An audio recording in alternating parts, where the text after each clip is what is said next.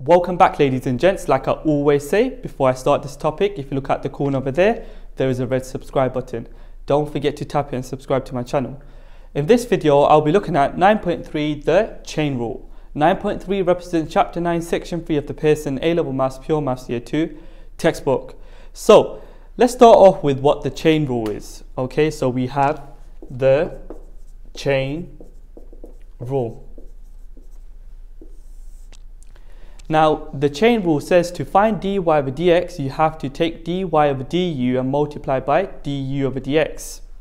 So, dy over dx is given by dy over du multiplied by du over dx.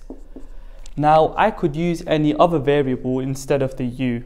So, I could use t, I could use s, I could use theta. But in this case, I'm just going to stick to u. Okay, so that there is the chain rule. Let's have a look at x as a function of y. To work out dy over dx, what you need to do is as follows. dy over dx is equal to 1 over dx over dy. Okay, so let's focus on the notation dy over dx. What this is trying to say is differentiate y with respect to x meaning differentiate the x terms. Okay, and over here, dx over dy, what this is trying to say is differentiate x with respect to y, so you're differentiating the y terms. Let's have a look at a question. If y is equal, in brackets, 1 plus 2x to the power 4, find dy over dx. Okay, so we can differentiate this over here using the chain rule. The way to do this is to first of all start off by letting u equal to what you have inside the bracket. So that is 1 plus 2x. The next step is to find du over dx. So du over dx is equal to 2. Right, now what I can do is rewrite this particular y in terms of x as y in terms of u.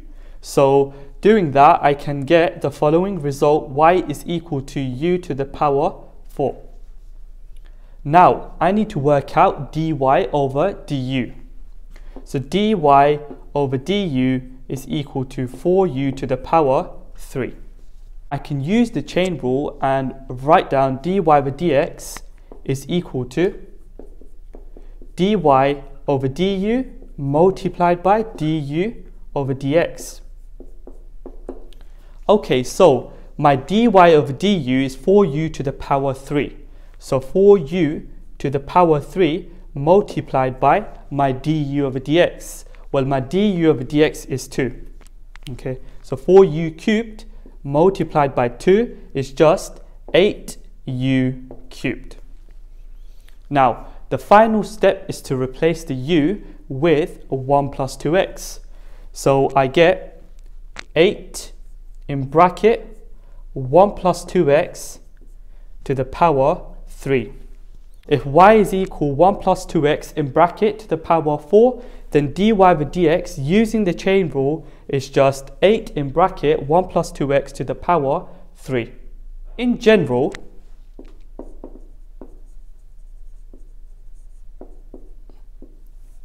if y is equal to f of x in square bracket to the power n, okay? Then dy over dx is given by bringing down the power n, subtracting 1 from the power, and multiplying by the derivative of f of x, so f dash of x. That there is the general rule. So you don't have to use the chain rule to differentiate something like this, you can just apply this particular rule over here to quickly differentiate. Okay, so now I'm going to be looking at more questions in which we can actually apply this particular rule. So over here it says find dy over dx for each of the following. Question number one, we've got y equal 3 plus 4x inside the bracket to the power of half. Okay, so to find dy over dx, you bring down the power of half subtract 1 from the power, so that's minus a half, multiplied by the derivative of what you have inside the bracket. So the differential of 3 plus 4x is just 4. Now we can just simplify this. A half times 4 is just 2. In bracket, 3 plus 4x to the power minus a half. Moving on to question number 2. y is equal 1 over square root 7 minus x. My first step is to rewrite this fraction in this particular form over here. So I need to use my knowledge of laws of indices from year 1. So using my knowledge of laws of indices from year 1, this particular fraction can be rewritten in the form 7 minus x in bracket to the power minus a half. Now I'm ready to differentiate.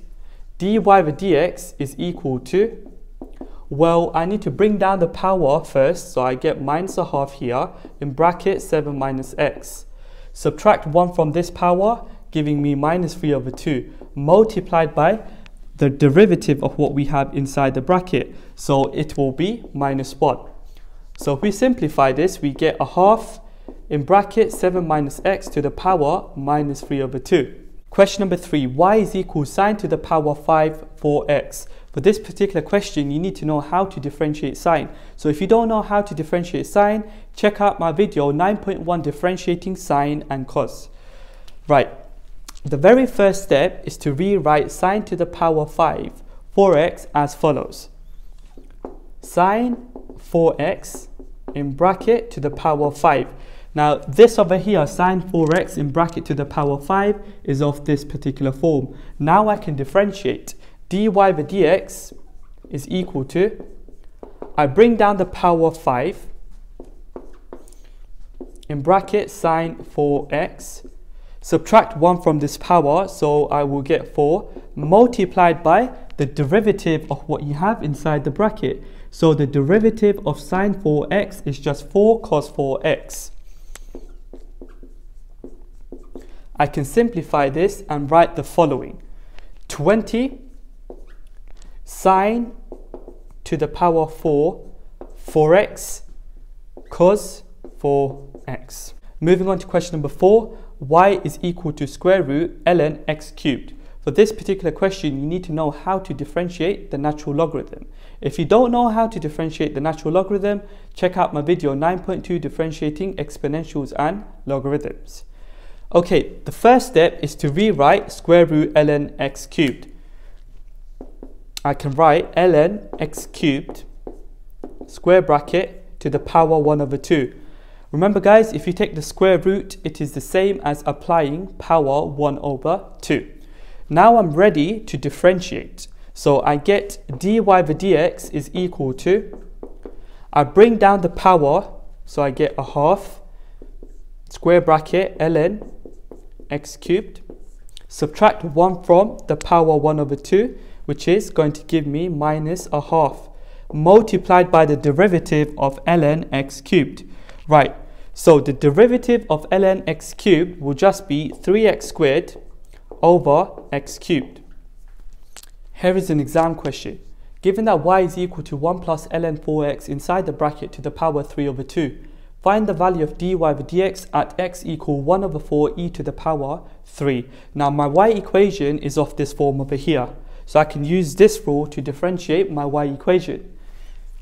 dy over dx is equal to, I bring down the power 3 over 2, in bracket 1 plus ln 4x, subtract 1 from the power 3 over 2, giving me 1 over 2, multiplied by the derivative of what we have inside the bracket. Remember, a constant differentiates to 0. ln 4x differentiates to 4 over 4x. Okay, if I simplify this, I obtain the following result. 3 over 2x in bracket 1 plus ln 4x to the power a half. My next step is to work out dy over dx when x is equal 1 over 4 e to the power 3. So I've got my dy over dx over here. What I need to do is substitute x equal 1 over 4 e to the power 3 into my dy over dx. So dy over dx when x is equal 1 over 4 e to the power 3 is equal to 3 over 2 multiplied by 1 over 4 e to the power 3 square bracket 1 plus ln 4 multiplied by 1 over 4 e to the power 3 and we've got the power a half here. What we need to do now is simplify this. After simplifying, I end up with 6 over e to the power 3, 1 plus ln e to the power 3 inside the bracket to the power 1 over 2. What I can do now is cancel the ln and the e because ln and e are inverses of each other.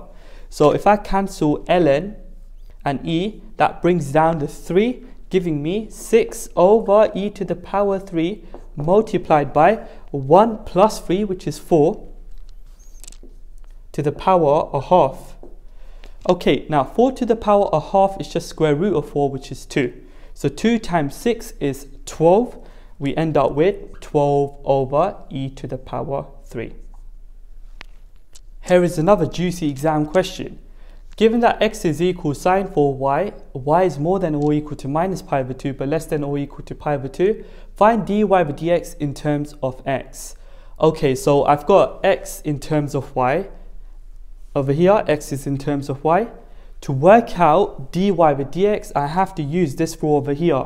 dy over dx is just 1 over dx over dy. So my first step is to work out dx over dy.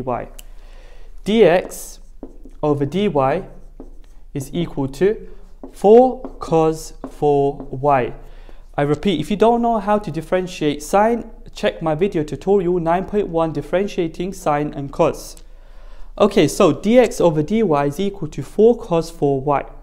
To work out dy over dx, what I need to do is 1 over dx over dy. So that would be 1 over 4 cos 4y. Right, over here I've got dy over dx in terms of y. I want dy over dx in terms of x. So what do I do then? Well, I've got x equals sine 4y. Perhaps I need to use the identity sine squared plus cos squared equal 1. In this context, it will be sine squared 4y plus cos squared 4y equal 1. So, because x is equal sine 4y, x squared is just sine squared 4y. So I can replace the sine squared 4y with x squared. Then I've got plus cos squared 4y is equal 1. Now my target is to make cos 4y the subject. So if I make cos 4y the subject, I get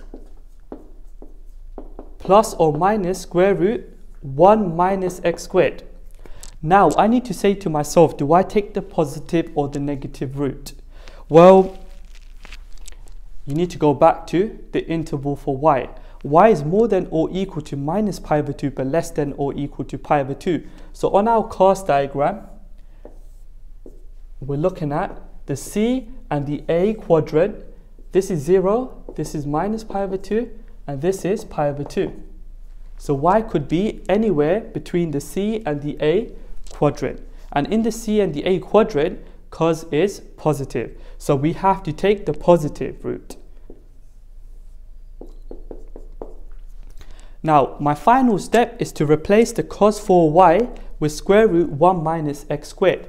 So dy over dx in terms of x will be 1 over 4 square root 1 minus x squared. And that there is the answer.